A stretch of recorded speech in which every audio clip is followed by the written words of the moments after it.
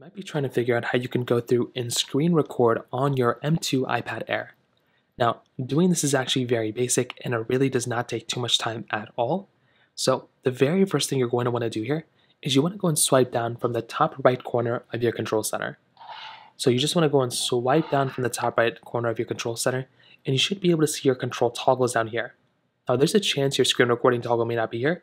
So if it's not there, you want to first make your way over to your settings application and if you already have your control center toggle set up, then you don't have to worry about it. Go into control center here. And what we want to do is we want to scroll down until we see screen recording. So click on the plus button next to screen recording right there. And this little panel is going to come up. Now, what we want to do now is if we swipe down from the top right corner now, you'll see this little screen recording toggle come up right there. So what we want to do is we want to first of all hold down on that screen recording toggle and we want to go and first understand if we want to use our microphone or we don't want to use our microphone.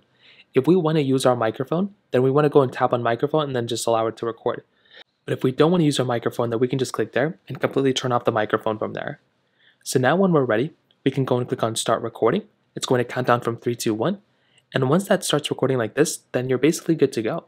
So now what you can do is you can just go and maneuver around your particular iPad just like so, and you can record whatever you want to. When you want to stop recording, you can click in the top right corner once again, just like this, and you can, you can click stop right there, and the recording will now completely be stopped.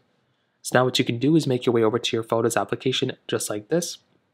We can go inside of our favorites or library or whatever we find. Here we go, just all photos. You'll be able to find your screen recording somewhere. For me, it's right here. And that's basically it. That's how you can screen record on your particular iPad. If you have any other thoughts or questions, let me know in the comment section below. Hit the like button, that me so much, but definitely hit that subscribe button.